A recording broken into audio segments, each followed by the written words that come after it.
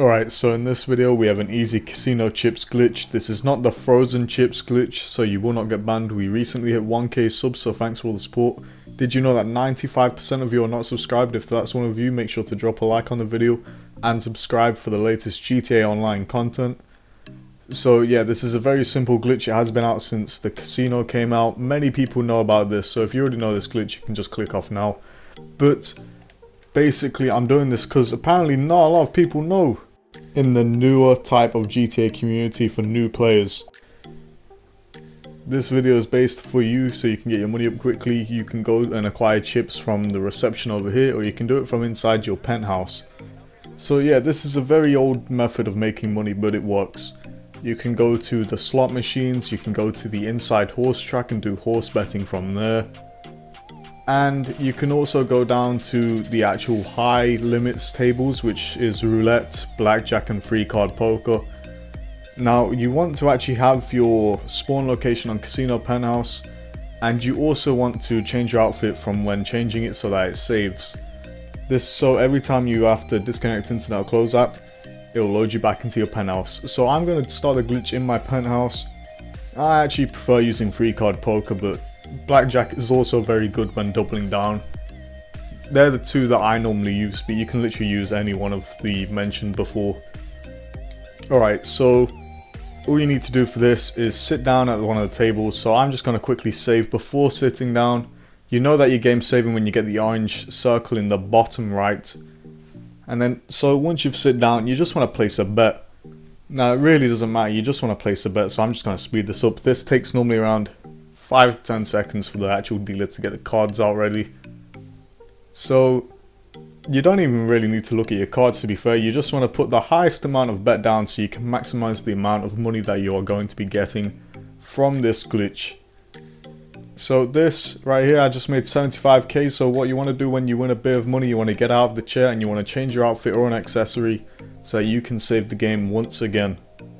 From here, all you need to do is sit back down in the chair you got out of and just make another bet. It's this simple.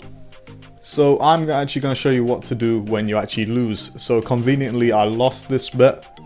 So I didn't even look at the cards this time because there's no point. You can just bet as much money as you need to. So I just wait for the dealer to put the cards down and I just place my money on there without even looking at the cards.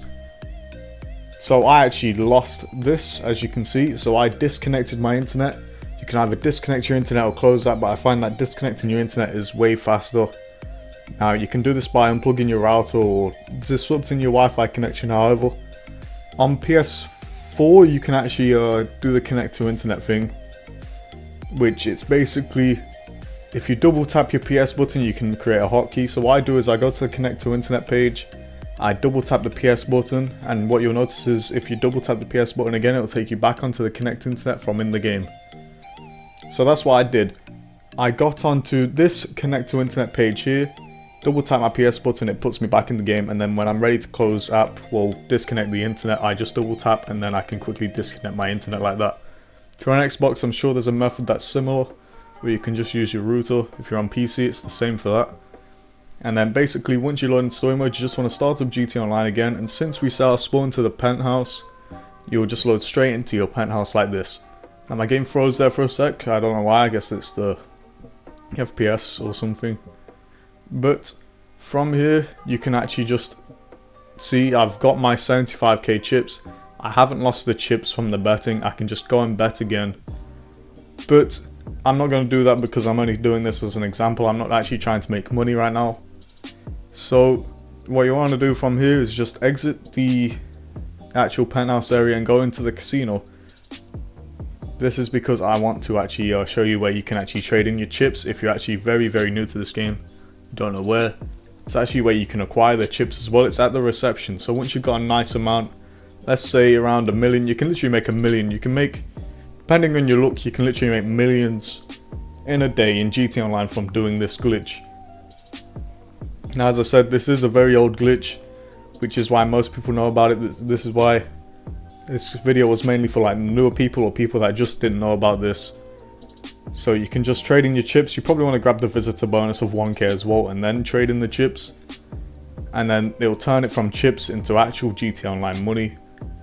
If you did enjoy this video, please make sure to drop a like and subscribe for more GTA Online content. And I'll see you guys in the next video.